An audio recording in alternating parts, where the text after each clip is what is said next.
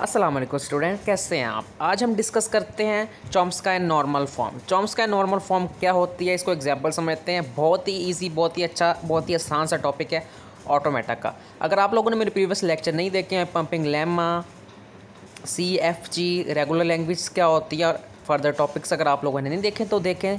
अगले कॉन्सेप्ट ज़्यादा अच्छे से समझ आएँगे। सो so, हम देखते हैं अब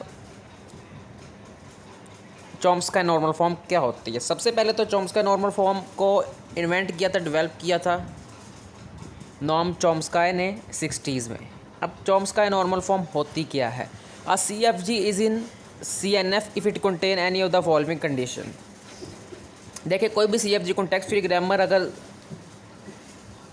होगी सी एन एम एफ़ में चॉम्स का नॉर्मल फॉर्म में अगर इसमें से कोई ये कंडीशंस को सेटिस्फाई करेगी। कंडीशन हमारे पास तीन है अगर तीनों में से एक कंडीशन भी सेटिस्फाई होगी तो चॉम्स का नॉर्मल फॉर्म में जो सी एफ़ जी है वो चॉम्स का नॉर्मल फॉर्म में होगा। सो so, पहली कंडीशन क्या हम देखते हैं? पहली condition start symbol contain null तो स्टार्ट सिंबल कोई भी होगा वो नल कंटेन करेगा। इन तीनों में से एक भी कंडीशन सेटिस्फाई होगी तो C F G C N F में होगा।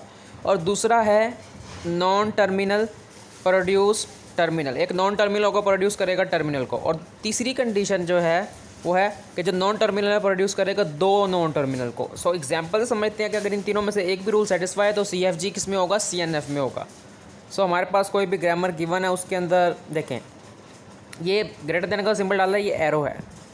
सो so, पहला है एन को रिप्लेस कर रहे हैं सी से। लेकिन मैंने क्या कहा था? जो नॉन टर्मिनल होगा प्रोड्यूस करेगा टर्मिनल सेकंड रूल सेटिस्फाई हो गया। सेकंड रूल हो गया सेटिस्फाई सो तो ये चॉम्स का नॉर्मल फॉर्म में अब देखें A replace with B D हम देखें नॉन टर्मिनल है ए नॉन टर्मिनल हम जानते हैं कैपिटल लेटर्स हम प्रोड्यूस कर रहा है। बी डी दो नॉन टर्मिनल प्रोड्यूस कर रहा है। थर्ड कंडीशन भी सेटिस्फाई हो गई है। और जो स्टार्ट सिंबल है एस है या एस हम, ऐसे कह लें, अगर एस कंटेन कर रहा है के को स्मॉल के है। देखिए आप देख रहे हैं ना स्मॉल के है। सो मैंने क्या कहा था? नॉन टर्मिनल होगा प्रोड्यूस करेगा।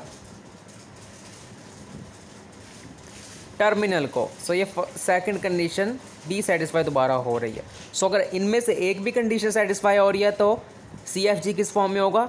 चॉम्स का नॉर्मल फॉर्म में होगा। अदरवाइज़ ये नॉम चॉम्स का नॉर्मल फॉर्म में नहीं होगा हम लिख देंगे। सो so, अगर आपको इससे रिलेटेड कोई कन्फ्यूज़न है सो so आप लोग कमेंट बॉक्स में पूछिएगा। Stay tune for next video take care अल्लाह हाफिज़